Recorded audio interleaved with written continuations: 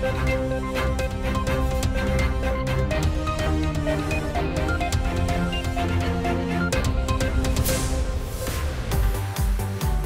dia a todos vocês. Começou o programa agora, o programa das comunidades. Que maravilha, hein? Seja bem-vindo ao nosso programa. Como foi seu dia? Tá tudo bem? Como você amanheceu? Já tá fazendo aquela comidinha gostosa? Tô quase sentindo o cheirinho daquele arroz por aqui. Olha, se quiser, estiver fazendo um peixinho aí, quiser mandar aqui pra gente, fique à vontade, porque pensa numa pessoa que gosta de peixe. Quero mandar um grande abraço, desejar uma ótima quarta-feira para todos vocês. Aquela quarta-feira incrível, com tudo muito, assim, tudo de muito bom assim para você, tá bom? Tudo de bom. Agora, deixa eu mandar aqui também um beijinho aqui, né? Deixa eu, antes de, chamar, deixa eu mandar logo um beijinho aqui para todos vocês que acompanham o nosso programa, para todos os aniversariantes, porque começou! Está no ar e vamos fazer barulho. É o agora que começa agora.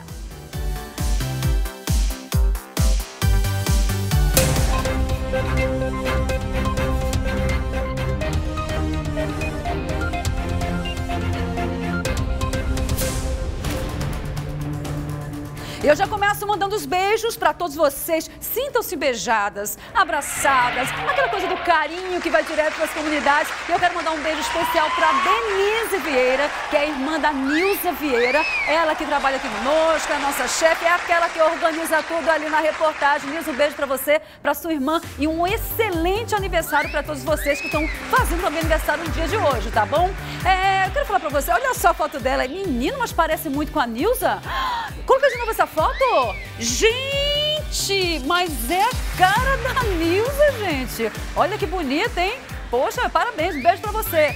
Bom, gente, começando agora o nosso programa, agora já começa naquele clima assim de muitas coisas sérias, as coisas acontecendo na nossa cidade. E aí não tem jeito. A gente tem que começar falando de situações que nem sempre queremos, mas que temos que falar para que todos fiquem sabendo o que acontece em Manaus. Na noite de ontem, um homem levou três tiros no ramal do Brasileirinho. A repórter, a nossa repórter Meia Chapiama, traz mais informações. É com você, Meia. Pois é, Patrícia, o crime foi por volta de uma hora da manhã no ramal do Brasileirinho, no bairro Distrito Industrial 2, Zona Leste de Manaus. A vítima, identificada como Harrison de Souza Lima, de 19 anos, estava dormindo quando um homem identificado como Rafinha bateu na porta da casa onde ele morava. Ao abrir, Harrison foi surpreendido por dois tiros que atingiram o abdômen da vítima, que ainda chegou a ser socorrida e levada para o Hospital Platão Araújo, também na zona leste de Manaus, mas morreu ao dar entrada na unidade hospitalar. Harrison já respondia por um crime de tráfico de drogas na justiça, o que pode ter sido a motivação desse crime. Mas a Delegacia de Homicídios e Sequestros já está investigando esse caso. Eu volto com você, Patrícia. É, aquela questão da, da, insegurança, das situações que vão ocorrendo na nossa cidade.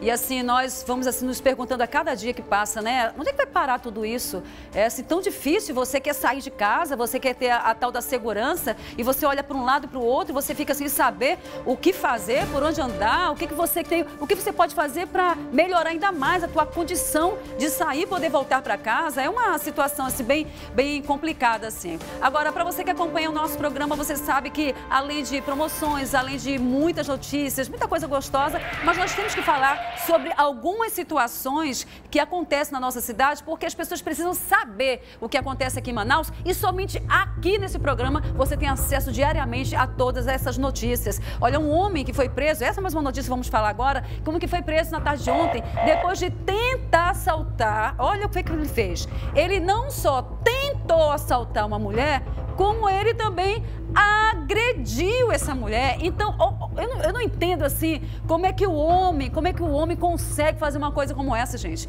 Além de tentar assaltar, ele vai agredir uma mulher. E eu, eu olho para uma situação dessa e falo assim, rapaz, é muita coragem tu, olha, fazer uma coisa como essa. É uma coisa assim descabida fazer uma coisa como essa. E quem traz essas informações é o nosso repórter Bruno Fonseca, na tela para você. Olá, Patrícia, é isso mesmo. Por volta das duas e meia da tarde, Franci Dyke, de 35 anos, estava pela Altais Mirim com um comparsa em uma moto. Foi quando, nesse momento, ele desceu em frente a uma dessas lojas aqui da Avenida Grande Circular e tentou assaltar uma mulher, levar o celular dela, né? Um furtar. Foi aí que a população, vendo toda essa ação criminosa desse rapaz que já responde por homicídio, tentou linchá-lo. Mas a guarnição da polícia veio e conseguiu capturar o infrator. Tenente Souza, fala pra gente como é que foi toda essa ação aí que vocês conseguiram capturar esse infrator. Recebemos ligação no telefone funcional do supervisor de área, né, informando que esse indivíduo teria tentado assaltar uma transeunte, né? A população percebeu que o mesmo não utilizava arma de fogo e nenhum objeto perfuro-cortante decidiu aí, né, reagir ao assalto. Colha a porrada. Positivo aí. População, aproximadamente umas 15 pessoas aí pegaram esse cidadão e o compasso dele que estava numa moto conseguiu ser evadido do local e ele ficou sozinho, né? Aí ele foi trazido aqui por vocês e já responde por homicídio, não é isso, Tenente? É, primeiramente, quando chegamos no local, o mesmo estava bastante ferido, né? Fizemos aí o procedimento de, de levar o mesmo aí para receber atendimento médico. Né? Ele foi recebeu atendimento médico, foi constatado que não houve nenhuma fratura, né? Principalmente na área da cabeça, onde estava mais, é, onde tinha mais ferimentos. Né? E posteriormente foi deslocado aqui até o 14º DIP, juntamente com a vítima, né? E apresentado ao delegado plantonista. Tá certo, então, muito obrigado. Esse foi o Tenente Souza. Tá aí, né? O que dá para quem comete esse ato de criminalidade. A população faz justiça com as próprias mãos, mas a polícia conseguiu aí resgatar esse criminoso que vai pagar pelo que ele fez. Patrícia de Paula, eu volto com você no estúdio. Muito obrigada, Bruno. Agora, para você que mora aí na zona norte de Manaus, aquele abraço bem especial também para todos vocês. E eu sinto muito por algumas coisas que acontecem aí com os moradores, com as comunidades dessa zona da nossa capital. E me deixa triste saber que mais uma vez eu vejo assim que famílias estão sendo reféns é, na sua própria casa. Sabe aquela história da grade, que todo mundo coloca grade? E que também são reféns de pessoas que quando saem de casa e assim resolve de uma hora para outra fazer algo com uma família e não se dá conta do que pode acontecer né, consigo mesmo diante de uma situação como essa. Então olha só, três pessoas armadas, três criminosos estavam armados, entraram e foram na zona norte de Manaus, eles fortemente armados, tá? Não são só armados, fortemente armados, entraram numa casa, fizeram a família de refém. Agora você imagina, você está dentro de casa, tranquila, mais um dia, aquela história de estou fazendo o almoço, estou esperando alguém chegar, e aí você se depara com três pessoas fortemente armadas, fazendo você de refém e aí levando carro, levando outros objetos de valor da família. E aí eu fico me perguntando, cadê a segurança? Vamos falar sobre esse assunto agora aqui no programa. Era por volta de uma da tarde quando Márcio Valério, de 36 anos, teve seu carro roubado no bairro Parque das Nações. Márcio estava fazendo uma visita para o seu compadre. No local, haviam duas mulheres e uma criança além dele. O portão entreaberto facilitou a entrada dos criminosos, que renderam as pessoas, levaram alguns pertences e o carro. Depois que os criminosos fugiram, a vítima chamou uma viatura e acompanhou os policiais durante a perseguição. Ao chegar no conjunto Ouro Verde, os três indivíduos abandonaram a caminhonete, que sem o freio de mão acionado, desceu a ladeira e bateu em uma casa. Por sorte, ninguém se feriu. O proprietário recuperou o veículo, já os três criminosos conseguiram roubar outro carro e fugiram. Aí você vê uma situação como essa e fica se perguntando assim, gente, você, será que alguém dorme em paz hoje? Como é, que, como é que vai dormir hoje, né? Como é que você olha uma situação assim como essa aqui, nós estamos vendo, e assim, como é que você, como é que você consegue dormir com uma situação dessa?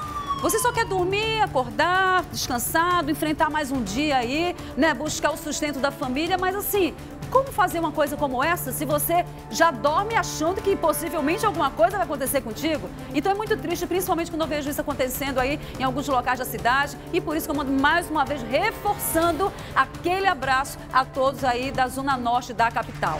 Vamos falar sobre falta de segurança. Olha só, gente, falta de segurança no centro da cidade está deixando lojistas e consumidores em alerta. Os assaltos têm sido tantos que eles já não sabem mais o que fazer. Você imagina que se você tem uma loja já é difícil, meu amigo. Você tem uma loja, você pagar, você pagar energia, pagar funcionários, pagar aluguel, tudo isso e de repente você tem essa loja aí assaltada. Vamos ver né, sobre esse assunto nesse momento. Não gosto muito de estar mostrando essas coisas não, mas é o jeito que é o que acontece na nossa cidade com o repórter Bruno Fonseca. Bruno, é com você aqui na tela, Bruno. A ação criminosa foi nesse prédio desta loja do ramo de roupas e calçados, na rua Guilherme Moreira, do centro de Manaus. Pelas imagens do circuito de segurança, é possível ver a ação criminosa. Eram dois bandidos, um deles escalou à frente do local para entrar no estoque da empresa. Os bandidos, além deles fazerem toda a escalada pelo lado de fora, eles desciam por aqui. Aqui nesse local tinha uma escada. Eles vinham e se deparavam com essa porta. Abriam com a facilidade deles e entravam e se deparavam com todo esse estoque. Deram um prejuízo a mais de mil reais também, entendeu?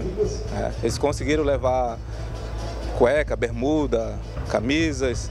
Depois da ação criminosa dos bandidos, os proprietários tiveram que colocar, construir essas barras de ferro para poder se proteger dos bandidos.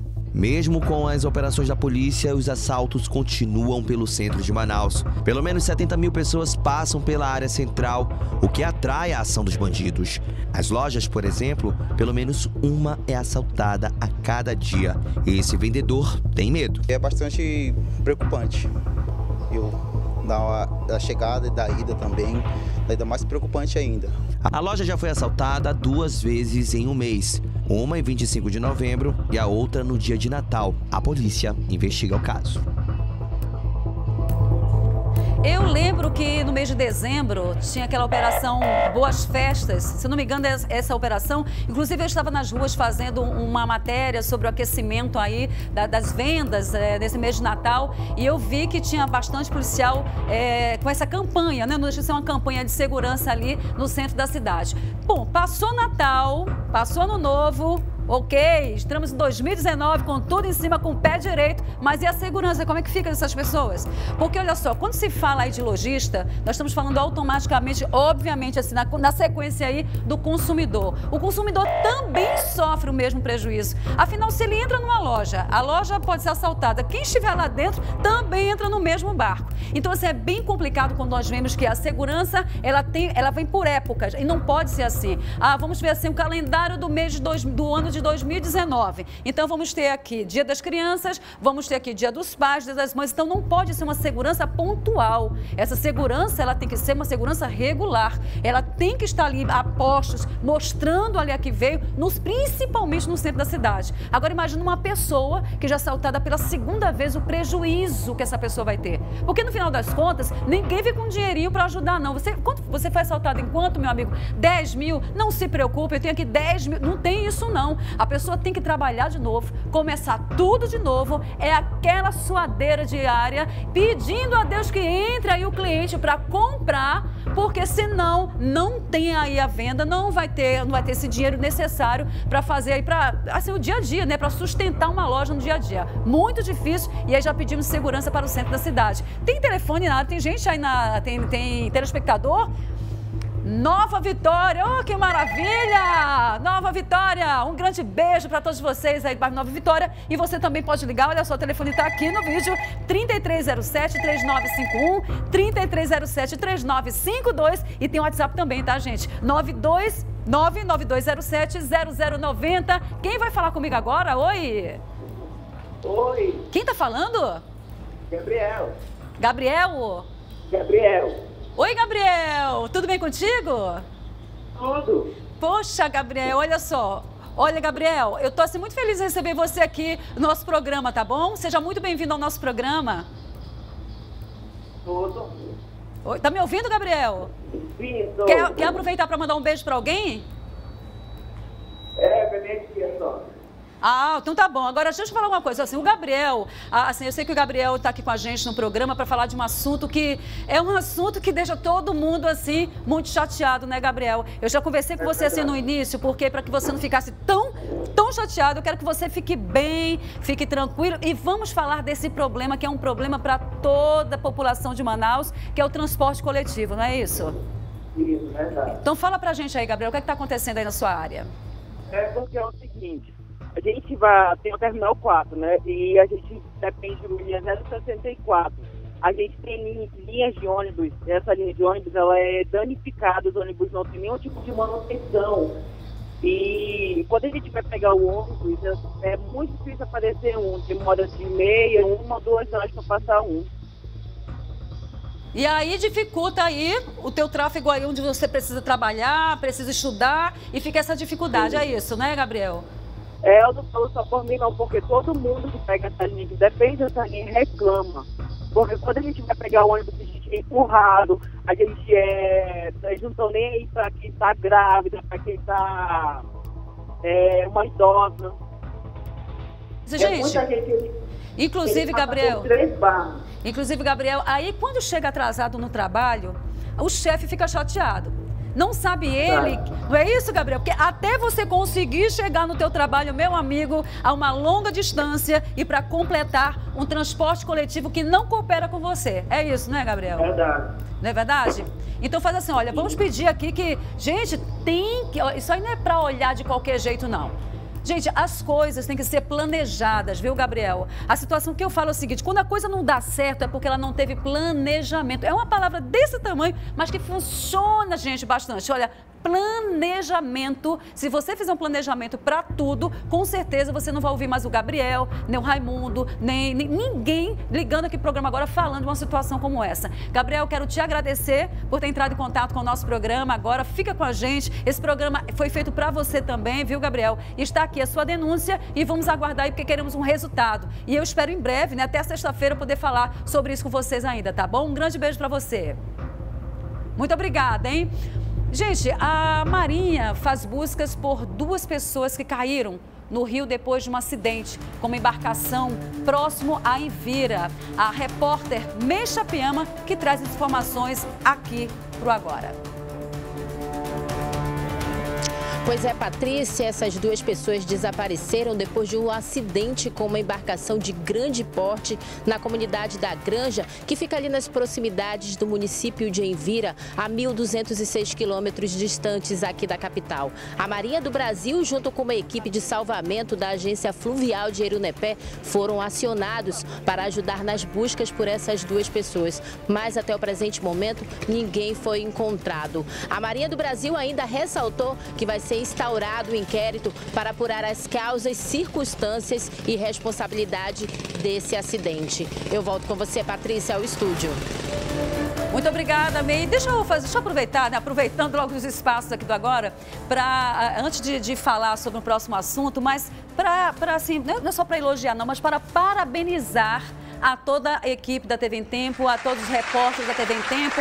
É, não é fácil colocar um programa como esse no ar, mais de uma hora ao vivo. E nós vemos assim todos os nossos companheiros enganjados assim para trazer as notícias, para trazer os factuais e tudo isso, sabe por quê? Porque você que é telespectador aqui da TV em Tempo merece esse respeito, merece esse carinho. E eu quero já aproveitar, mandar um beijão aí para o Bruno Fonseca, para Mecha Piama, participando aqui do programa agora. Parabéns pelas matérias. Muito muito bem construídas. É muito bom ver os nossos colegas sempre assim alto, trazendo material de primeira qualidade. E a Meia acabou de falar sobre Marinha e eu venho também com mais um assunto falando sobre o mesmo local. A Marinha iniciou mais uma missão de atendimento médico a comunidades ribeirinhas em áreas isoladas do estado do Acre. Serão quatro meses levando saúde aproximadamente a 20 mil pessoas. O navio Hospital Montenegro deixou Manaus nessa terça. São 19 anos levando assistência médica e odontológica para comunidades isoladas. Nessa missão, o destino é a calha do rio Juruá. Serão mais de 5 mil quilômetros com 12 paradas em municípios do Amazonas e Acre. A Marinha se propõe a fazer essa operação por um período de aproximadamente quatro meses. Esses quatro meses se propõem a atender a área do rio Juruá, médio e alto Juruá, especificamente nesse período em função do regime de águas. 28 profissionais da área de saúde vão atuar nessa operação.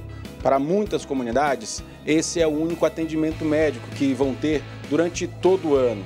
E o navio é equipado, inclusive, com estrutura para fazer pequenas cirurgias. A previsão é que eles atendam aproximadamente 20 mil pessoas. O navio tem raio-x, farmácia, laboratório, além de consultório médico e odontológico. É nele que trabalha a tenente Talita Mourão, dentista que vai para a segunda missão no Montenegro. Para ela, o trabalho vai mais além que o atendimento de saúde. A gente muda totalmente. A gente acha que a gente tem problemas, nossos problemas são mínimos na frente do, da humildade. E eles são tão humildes, eles nem acham que aquilo para eles é problemas, entendeu? E a gente acha que é, mas não é. E a gente volta com totalmente com a cabeça mudada. A primeira parada será em Cruzeiro do Sul, no Acre. De lá ele volta parando em outras 11 cidades. Que legal, hein? Muito obrigada aí, Márcio Azevedo, esse repórter que é nota 100, né, Márcio? Um grande abraço para você. Gente, quando se faz um trabalho como esse da Marinha, é algo que dá-se um orgulho tão grande, né? Porque tem pessoas, você imagina que tem pessoas, para você que tem condição de ir a um dentista, um dermatologista, um médico diariamente, né? Você não sabe, assim, a situação que passa essas pessoas que são os, os ribeirinhos. Tem momentos que eles passam anos sem conseguir saber o que, que é. Às vezes não conhece nenhuma broca, não sabe, nunca viu um dentista na frente. E quando eu vejo a, a Marinha fazendo um trabalho como esse, dá um orgulho assim de ser brasileira, saber que as pessoas se preocupam com outras, que tem aquela questão do amor ao próximo mesmo, que quando um médico ele faz ali, né, quando ele levanta a mão e quando ele fala, naquele momento que ele vai ser responsável por aquela vida, que vai fazer tudo o que ele pode fazer para por aquela vida, ele tem que fazer isso mesmo. Afinal, estudou tanto tempo, tantos anos, e aí precisa que nesse momento ele olhe para ele e fale assim: olha, preciso do meu consultório, eu preciso sobreviver, eu preciso cobrar minhas consultas, mas eu preciso fazer algo também pelas pessoas. As pessoas merecem que aquele diploma que eu tenho na minha casa, né, seja, realmente ele é, esteja valendo em todos os sentidos, não só no trabalho, onde precisa de trabalho mesmo, eu sei que vocês precisam, mas também desse gesto de amor ao próximo, gente. Isso é muito bacana. Deixa eu falar agora da, das comunidades. Gente, bairro Nova Cidade, moradores da rua 114 Deixa eu falar para vocês que esse local, eu estive nesse local, né? E assim, só vendo para você acreditar o que acontece lá.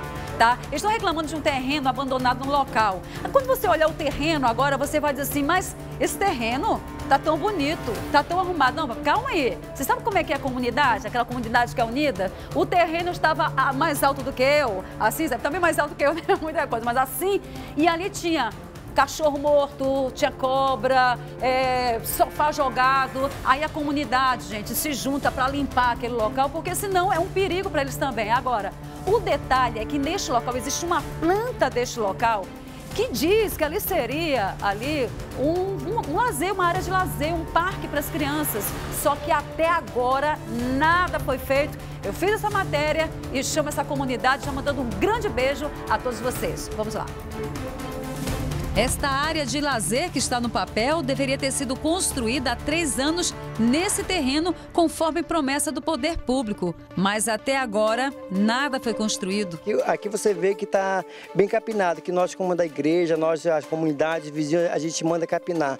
Mas sempre dá cobra, aranha e atrai a doença também aqui para a nossa comunidade. O caminhão da limpeza pública não passa há muito tempo. Para que o terreno fique assim, a comunidade está sempre se unindo para fazer o mutirão. E semana passada que nós limpamos estava horrível. Eu mesmo limpei com a roçadeira da igreja, compramos a gasolina e o mato estava muito grosso. Eu não consegui capinar com fio, eu só fui capinar com, com um disco de ferro, porque o mato estava muito alto e as pessoas já estão jogando lixo. Tinha uma cama, tinha um sofá ali também jogado, muito mosquito. E as crianças brincam aqui, não só as crianças da nossa igreja, mas como as crianças da comunidade.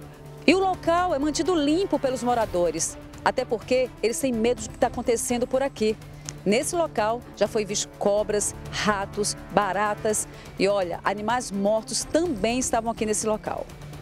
Pedimos para alguns vizinhos né, ajuda, né? Porque senão se torna lixo, se torna né, muitas coisas, né, é, é, barata, ratos, até mesmo cobras, né? Por aqui tem muitas crianças, idosos. Um deles é o seu João, que mora há 23 anos no bairro e ainda tem o sonho de ver esta área revitalizada. Se tornar um lazer para nós, porque tem as crianças para brincar, né? E nós mesmos idosos para ficar aí conversando um com o outro, né? É, trocando ideia, né? O que eles querem é algo muito simples: o direito à infraestrutura na comunidade onde moram. Então vamos fazer o seguinte, que tal aí pegar esse desenho, essa planta, tá tudo desenhado. Gente, já meio caminho andado. Porque, olha, um dos maiores problemas para se fazer algo em um local como esse é exatamente a planta, porque tem profundidade, espaço, não é isso? Sou arquiteta, nem engenheira não, mas pelo que eu vi foi mais ou menos isso ali. Então, se você já tem uma planta pronta com esse desenho, que tal pegar essa planta e começar a fazer valer naquela área. Porque se algumas pessoas agora estão assistindo o programa falando assim, olha, mas tem tantos problemas em outras comunidades, mas tem tantos buracos, tem tantas ruas esburacadas, por que, que estão falando, dando assim, né, mostrando uma área dessa que já está tão bem? Não, ela não fica assim. Deixa eu falar uma coisa para você, meus amigos. Eles não ficam, essa área não fica dessa forma. O mato fica até em cima, inclusive pessoas ficam escondidas lá também. Então é uma questão muito séria. Se fizer ali, fizer uma limpeza, né, faz assim, uma, uma arborização naquele local, revitaliza aquela área, com certeza não vai ter mais esse problema, porque esse bairro é bem distante, ali daquela área, são poucas casas que ficam ao redor e aí os moradores realmente estão com medo mesmo de que venha acontecer alguma coisa. E aí, cabe o quê? O agora está aqui para isso. Abre esse espaço, mostra o problema mesmo, sabe aquela história assim de doa que doer? Tem que ser assim. Não dá para ficar olhando as coisas e achando que está tudo normal. Não dá, não. Aí aqui, a proposta do Agora, a, a, o, toda a produção, toda a direção do Agora tem um compromisso com as comunidades. E é por isso que nós buscamos aqui respostas. Falando em respostas, falando em resposta, tem uma resposta já de ontem do Parque dos Milhares. Né? Tem uma resposta que de ontem. Vocês lembram ontem daquela matéria que nós colocamos do Parque dos Milhares? Essa matéria do Parque dos Bilhares foi feita aí com o homem do sapato azul. Ele é o cara dessas matérias também de comunidade. Gente, mostramos ontem a situação de falta de iluminação. Olha o perigo das pessoas passando ali pelo parque. Um parque lindo, arborizado, que deveria estar ali prontinho o tempo inteiro para que as pessoas pudessem passear, pudessem ali fazer atividade física, pudessem também ali pessoas que jogam é, vôlei, jogam bola, faz caminhada. Quer dizer, é para isso, gente. Já não tem, a gente não tem muito espaço, não tem muitas coisas assim, né, que nós possamos lançar mão em Manaus. Aí nós temos aqui, olha só, olha só, estão vendo aí, né? Vocês estão vendo, né? Então pronto, agora isso foi mostrado ontem, essa matéria foi mostrada ontem e fiquei feliz porque nós temos aqui a resposta da Secretaria Municipal de Meio Ambiente e Sustentabilidade, SEMAS, que informou que já houve reforço na segurança do Parque Municipal ali da Ponte dos Bilhares. Ou seja, ainda bem, felizmente, né, essa secretaria né, tomou assim, assistiu o programa, né, viu tudo que estava acontecendo no programa e deu essa resposta para a gente. Ou seja, vai aumentar aí o efetivo da guarda para dar mais segurança à população, às pessoas que gostam de caminhar, de fazer atividade física e mais, hein? Vai ter ali ronda motorizada da polícia aí militar. Olha, gente, isso é uma coisa séria. Isso é coisa séria. Estão sendo tomadas providências do sentido de repor instalações elétricas. Ainda bem. Para, agora, palmas aí. Agora eu vou colocar palmas aqui. É isso aí. O povo não vai reclamar porque gosta de reclamar, não, gente. Ninguém tem mais tempo para isso, não. Ah, vou reclamar porque eu amo reclamar. Não, reclama, porque eles estão pedindo que faça alguma coisa. Aí a SEMAS vai faz, aí tem que aplaudir. Aí tá ótimo. Agora vamos voltar lá para ver, né? Toda a iluminação, ver como é que está, porque a gente quer mostrar agora depois essa matéria aqui também no programa. Falando aí, né, no Homem do Sapato Azul, Vanderlei Modesto, esse cara que é o cara das comunidades, um dos caras mais queridos da nossa cidade, ele foi para uma comunidade fazer uma matéria e olha só, gente. Ele mostrando ali, aquele bairro, não sei se você conhece, Bela Vista, falta de infraestrutura. Tem dado tanta dor de cabeça para os moradores que eles não sabem mais o que fazer. Aí, chama aí o, o, o Vanderlei Modesto, né? Porque ele quer mostrar, ele está mostrando lá, gente, que naquele local não tem asfalto, o mato muito alto, muito mato no local e isso os moradores estão apavorados. É assim mesmo, gente. As pessoas que moram nesses locais, que estão nessa situação de falta de infraestrutura, fica muito preocupado mesmo. Então vou chamar aí o homem do sapato azul, conferiu tudo no bairro e traz aqui pra gente no programa agora. Com imagens de Caio Blair, reportagem de Vanderlei Modesto, homem do sapato azul, o programa agora está aqui na rua 15 de novembro, comunidade Bela Vista, que pertence ao Poraquequara, bem próximo ao presídio do Poraquequara. Nós viemos aqui com a finalidade de fazer matéria nessa rua, na 15 de novembro. Mas ao chegar aqui, na comunidade Bela Vista, nós notamos o seguinte, que de bela a comunidade não tem nada. E a vista é essa que você está vendo aí. Bueiro entupido, buraco para todo lado, lama, lixo, mato. Aqui é difícil o acesso. Não entra ônibus, não entra carro do lixo, nem polícia entra aqui. O que entra aqui mesmo, sabe o que, que é?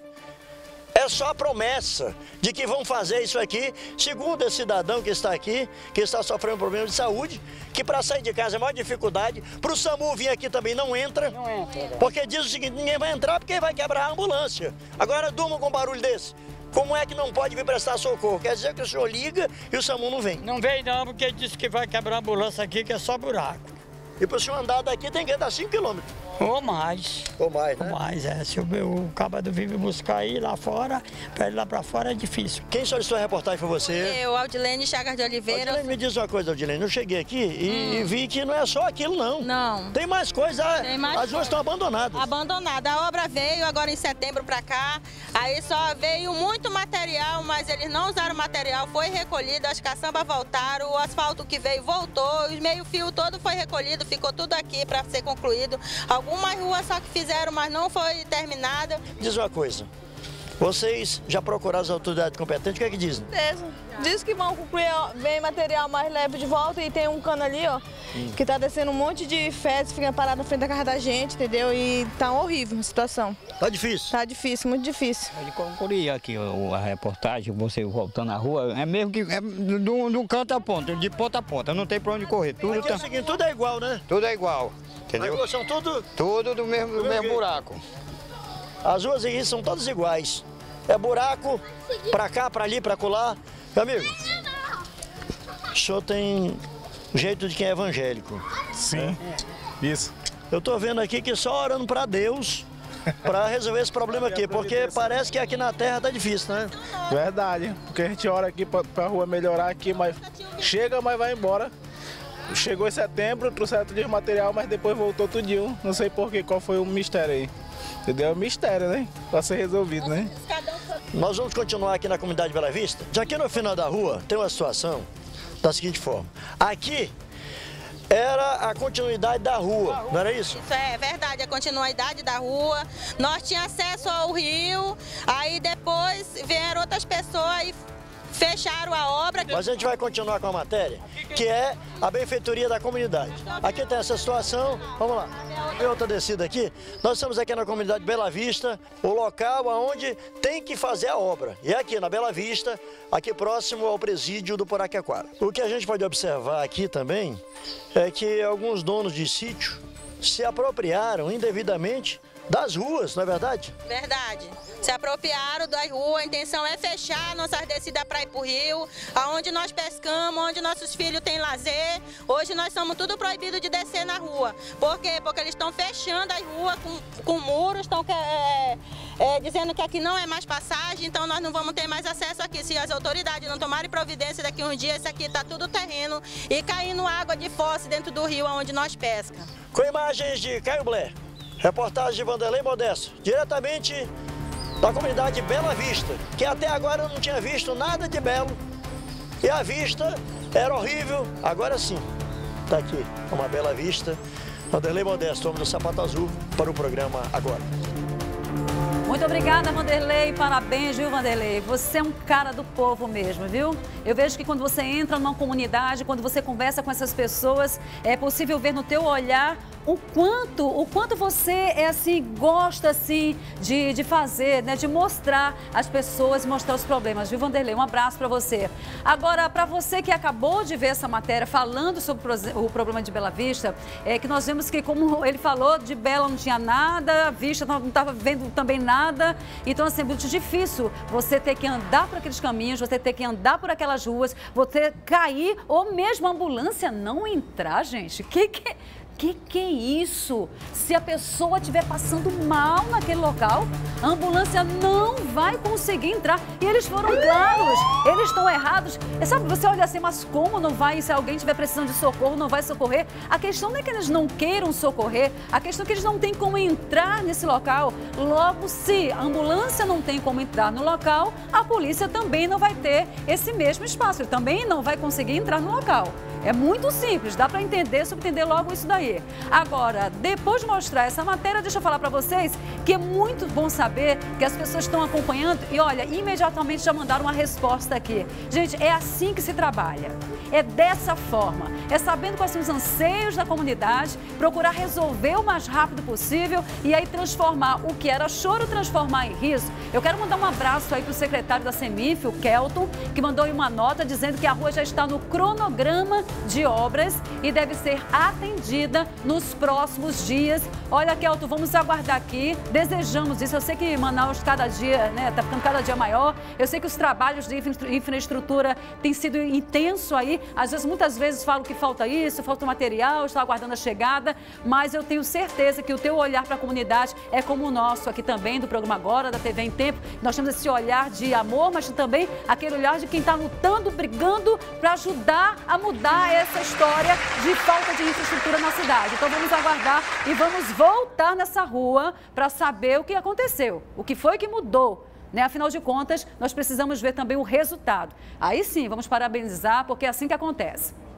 Falando aí, falei de segurança, né? Falando aí também de, a, da falta de, de, segurança, falando aí sobre é, em relação à ambulância que não entra nesse local. Nós temos também algumas pessoas que estão ligando aqui para o programa e falando a mesma coisa. Olha, aqui eu tô, tô até assim, olha, tô até aqui com, com as pessoas falando aqui no ponto. Olha, tem gente que está ligando falando assim, olha, na minha rua acontece a mesma coisa. Então faz o seguinte, manda aqui pra gente qual é o seu bairro, essa situação de não entrar ambulância, carro da polícia, manda pra gente e nós vamos falar aqui também no nosso nosso programa, tá bom? Agora vamos falar aqui de coisa boa. E coisa boa, a Márcia Lasmar sabe muito bem. Ela que traz aqui pra gente, ela que traz aqui pra gente aqui que, olha só, gente, ela que traz aqui pra gente as informações, ela que traz pra gente coisa boa, sabe aquelas delícias que todo mundo pode aproveitar e da melhor maneira possível. Afinal de contas, agora você pode.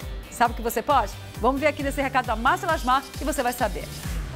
O Avancar traz para os seus clientes a mais nova parceria com o restaurante da Terra Peixes e Petiscos. São pratos como banda de tambaqui assada, caldeirada de tambaqui, filé de tucunaré grelhado, tucunaré ao escabeche e tantos outros pratos de dar água na boca. E agora aceita o cartão Avancar. Então não perca essa oportunidade de saborear os melhores pratos. Ah, traz a família toda para conhecer o restaurante da Terra Peixes e Petiscos. Funciona todos os dias das 11 da manhã às 3h30 da tarde. E para outras informações você pode ligar para o 3877 4762 ou entre em contato pelo WhatsApp 99340 9604. Use o cartão Avancar no restaurante da Terra Peixes e Petiscos, porque com ele você só tem a ganhar. Nossa, muito bom, hein? Quando se fala isso daí, gente, dá aquela água na boca. Gente, é, as pessoas quando assistem nosso programa, eu sempre falo assim que elas estão em busca aí é, de informações, né, de situações que acontecem. Você às vezes, muitas vezes não vê, né, isso em outros, né, em outras emissoras. Mas aqui é que nós trabalhamos de uma forma muito verdadeira e trazemos aqui o que realmente acontece com todos os detalhes, porque você merece isso mesmo, viu, gente? Mesmo que a notícia não seja tão agradável, verdade. Olha só, depois de pegar um ônibus na Marina do Davi, o Alessandro Paiva de Souza, ele desapareceu. Então você imagina que uma pessoa sai de um local, vai para o outro, tem pessoas aguardando e essa pessoa desaparece. Aconteceu isso com esse rapaz. E quem vai trazer para a gente todas as informações é a nossa repórter Meixa Piama. Pois é, Patrício Alessandro Paiva de Souza, de 29 anos, desapareceu depois de entrar em um ônibus aqui na Marina do Davi, no bairro Ponta Negra, zona oeste de Manaus. Segundo informações da irmã da vítima, ele foi visto pela última vez no dia 12 de dezembro do ano passado, depois de entrar em um coletivo bem aqui nesta parada de ônibus. Familiares procuraram a delegacia especializada em ordem política e social para ajudar nas buscas pelo Alessandro, mas até o presente momento ele não foi encontrado. A polícia pede que qualquer tipo de informação entre em contato pelo telefone 3214 2268. Diversas fotos foram divulgadas pela cidade, mas até agora nada de informação. Eu volto com você, Patrícia, ao estúdio. Muito obrigada, May. Muito triste, né? Então, se vocês, de repente, têm alguma informação sobre esse rapaz, gente, uma família, quando tem alguém desaparecido, é uma coisa enlouquecedora. Não dorme, não come, não vive e fica aí na espera e uma espera de algo que nunca chega, tá, gente? É muito sério. Olha só, se você conhece alguém aí da família, né, gente, vamos tem que, olha, gente, tem que ajudar. Nessa, olha, nesse momento, a solidariedade fala mais alto. E nós sabemos que aqui em Manaus tem algo fantástico. Né? As pessoas, quando dão as mãos, é algo assim maravilhoso. As pessoas realmente gostam de ajudar. Então vamos lá ajudar em tudo que for, tudo que for necessário, né? tudo que for possível, na verdade, para que tenhamos assim outro final de história, né? outro fim de história. A história tem que ser outra, não pode ser esse, desaparecer e ninguém mais encontrar. Não pode ser esse fim de história. 2019, não. Nesse agora não pode, não pode jamais mais acontecer algo dessa natureza. Para você, gente, que também agora também assiste nosso programa, para você que quer mandar recadinho, para você que vai mandar o WhatsApp, manda pra gente. Deixa eu falar para você, deixa eu virar aqui, olha aqui, ó, 992070090 ou você também que pode ligar 3307-3951, 3307-3952. Liga que eu quero atender você aqui no programa. É, eu quero falar ao vivo contigo. Isso, liga agora. Então tá bom, vou pro breve intervalo, volto já já com muito mais. É o Agora agora o seu programa, o programa das comunidades. Esse sim é da comunidade. Volto já.